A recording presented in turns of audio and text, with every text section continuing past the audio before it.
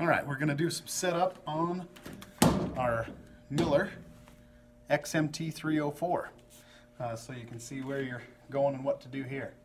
Um, this one's set up with uh, at least one more process than the other machines in our in our shop. So I'll show you that one as well. Um, but to get started, right now we're set up with our SMAW um, Stinger, the electrode holder set up, plugged in right here. Um, oh boy, there's wiggling here. Sorry. So it's plugged in here to the positive side. That's where we're going to want that as we're as we're running our um, SMAW processes. The ground in the negative side that comes down here and is bolted right onto the side of the. Actually, this one's clamped, but it's bolted onto the um, the booths uh, so that it's always grounded to the booth, so you can weld um, anytime you've got that hooked up. Um, this power source then also needs to uh, make sure that the little turn knob here is pointed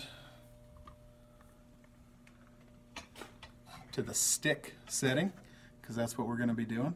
Um, and then you're ready to go. Turn it on and you can start welding SMAW.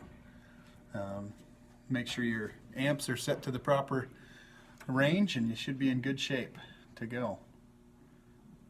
Now, switching it over to GMAW.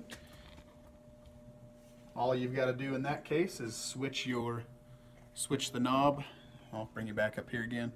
Switch the knob over to MIG. Okay, that's where we want to be there. Knob points at MIG. Now only the volts are displayed, so make sure that's in the right range for what you're doing. And the uh, SMAW electrode holder is pulled out, hanging on the wall, and then the plug that comes up here follows around the back of the machine up to our wire feeder. That gets plugged in to the positive side just the way the other was. Now you're all set for GMAW, as long as you got it in the right voltage range. Now these are also set up to run our uh, lift arc TIG. So I'm going to take the positive um, lead out, uh, and we want our TIG process to be running on electrode negative. So we've got to take the ground out of the negative side and move it over to positive. So now we can plug our electrode over here on that side. The TIG electrode has a couple of extra parts going on here. Uh, for one thing, it's got our little gas line coming in, so it'll run uh, our argon down to the torch, okay? And this just plugs in right into the machine. Gas line's here. Got a gas valve right here on the on the torch so you can operate that.